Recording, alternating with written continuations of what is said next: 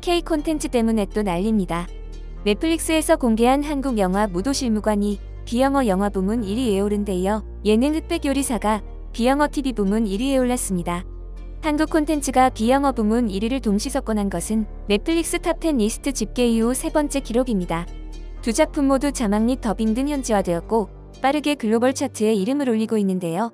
넷플릭스 예능 흑백 요리사 요리 계급 전쟁은 그동안 미국과 유럽에서 수없이 진행해온 요리 서바이벌 프로그램과 같은 포맷을 갖고 있는데요.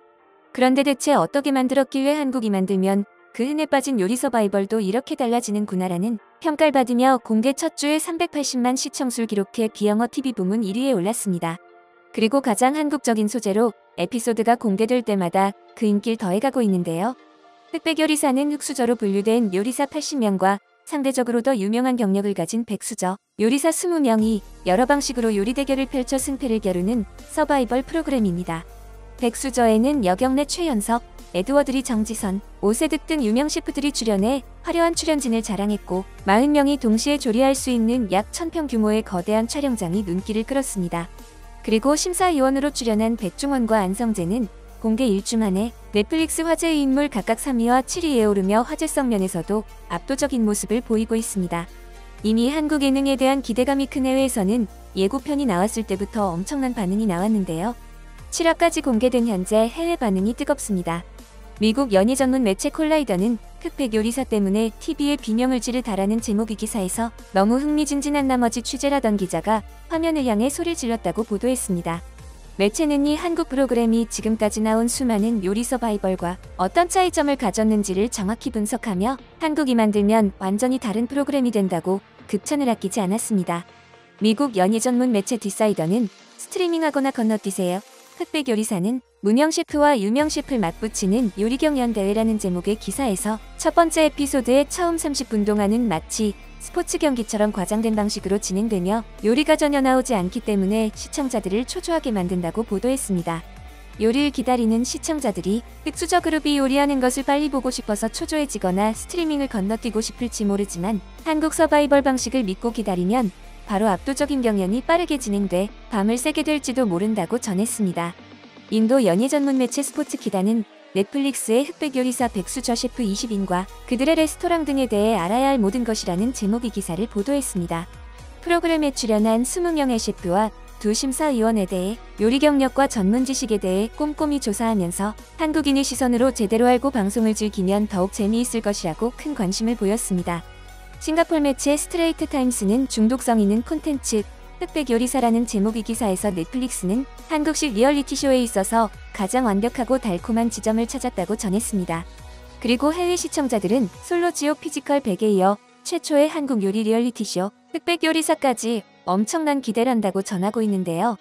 탑셰프 아이언 셰프, 마스터 셰프 등 인기 있는 국제 요리 경연 프로그램이 많았지만 흑백 요리사는 이 장르에서 놀라움과 서스펜스가 있어 가장 신선함을 유지하기에 충분하다는 것입니다.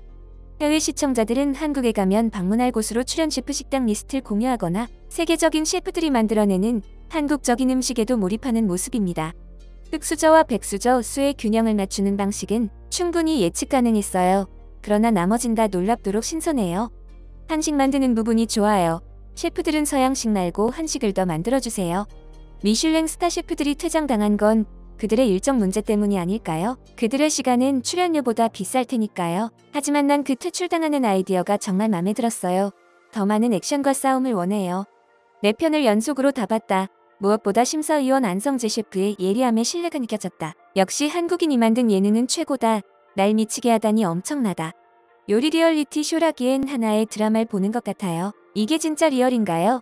정말 한국의 드라마는 대단합니다.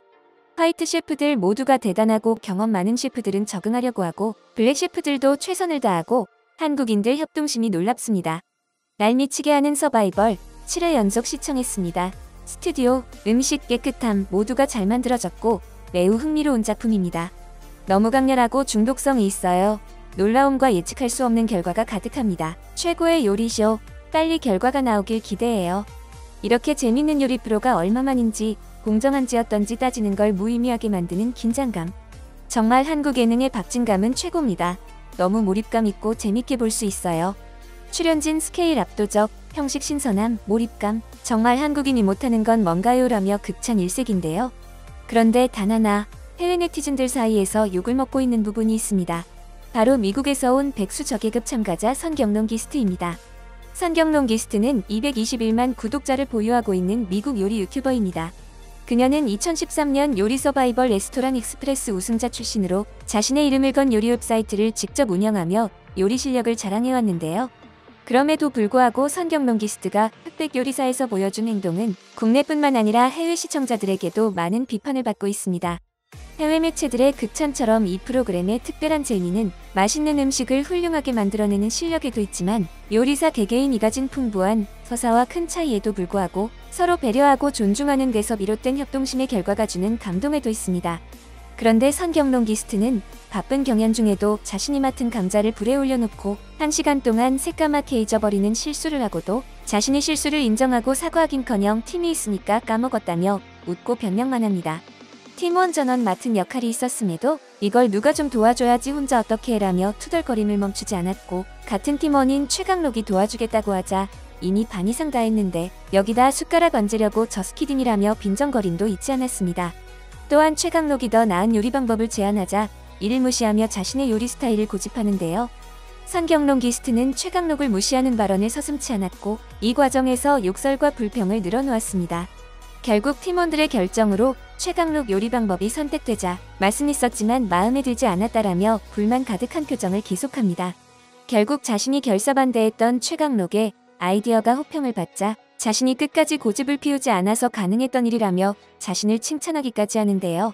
특히 분주한 주방에서 식칼을 위로 들고 몸을 돌려 다른 참가자를 위협하는 행동은 큰 논란이 되었습니다.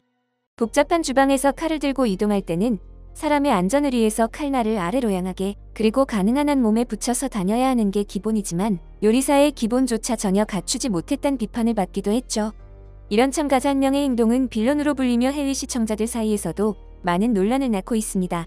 아무리 극심한 경쟁을 유도하는 서바이벌 프로그램이라 해도 한국인 참가자들은 서로를 격려하며 겸손한 자세로 서로를 존중하고 협력하는 한국인만의 특별한 경쟁 분위기가 좋아서 봤는데 한 참가자 때문에 감동이 모두 깨지고 말았다는 것입니다. 앞으로 이 프로그램이 어떻게 진행될지 전 세계가 주목하고 있는 가운데 최근 충격적인 제보 영상이 국내에 퍼지며 많은 한국인들을 충격에 빠뜨렸습니다. 영상은 한 주거지를 보여주고 있습니다. 이곳은 무너질 듯한 천장과 씻을 수조차 없는 화장실 등 그야말로 심각한 집 내부 영상이었는데요.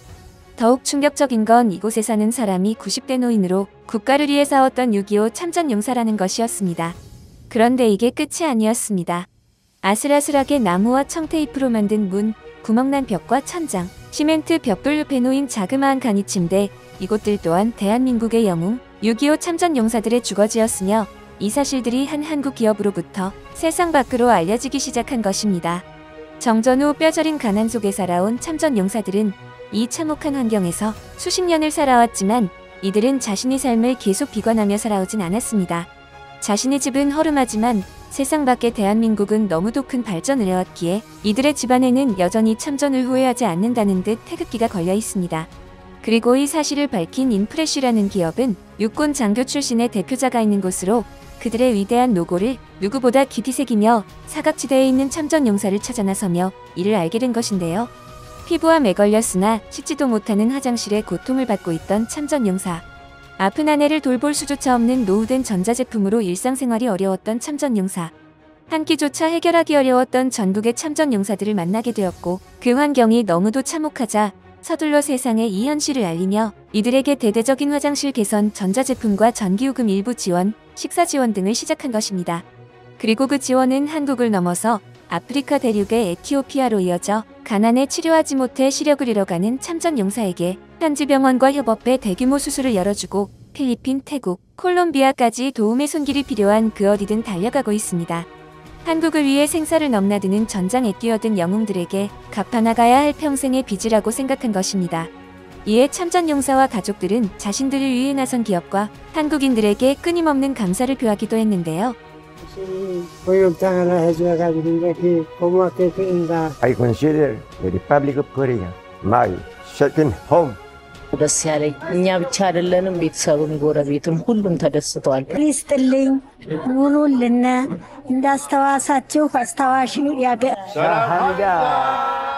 그리고 최근 이 기업은 역사적 상징을 그대로 구현해내며 또 한 번 전 세계의 주목을 받고 있는데요.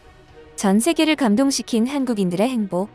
해당 기사 속 인프레쉬 태극기 키링은 6.25 한국 전쟁 당시 참전 용사들의 간절한 명언이 새겨진 서명 태극기를 그대로 구현해낸 것으로 빛에 따라 굴곡이 보일 정도로 서명 한자 한자가 디테일하게 담겨 있습니다. 이에 외신은 한국의 역사적 상징이 담긴 keyring이 높은 인기를 얻으면서 태극기에 대한 아름다움이 퍼지고 있다 전했는데요. 실제 6.25 참전 용사들에게 수익금 일부가 후원되고 동참한 한국인들의 이름으로 전달되는 이 키링은 한국의 역사와 더불어 태극기의 미까지 알려지는 이해적인 상황이 연출되고 있는 것입니다. 그리고 이 행보에 감동한 한국인들의 행보도 주목을 받았는데요. 김재순, 박준철, 고재국, 김경구 등 이 평범한 한국인들도 태극기 키링을 통해 동참하며 인프레쉬와 함께 많은 참전 용사들에게 도움을 주기 위해 손을 내밀고 있습니다. 이에 한국은 예우를 잊지 않는 고마운 국가라는 세계적 극찬을 받고 있으며 많은 참전국에 큰 울림을 주고 있는데요. 저 역시 한국인으로서 이 아름다운 행보에 동참하였으며 여전히 어려운 환경 속에 사시는 참전 용사님들의 삶이 개선되길 간절히 바라고 있습니다. 많은 분들의 응원이 큰 힘이 될 것입니다. 이 태극기 키링의 구매처는 고정 댓글에 남겨두도록 하겠습니다.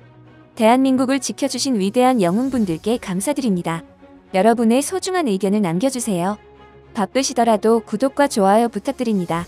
시청해주셔서 감사합니다. 앞으로도 더욱 노력하여 유익하고 재밌는 콘텐츠로 찾아오겠습니다. 지금까지 단골이슈였습니다.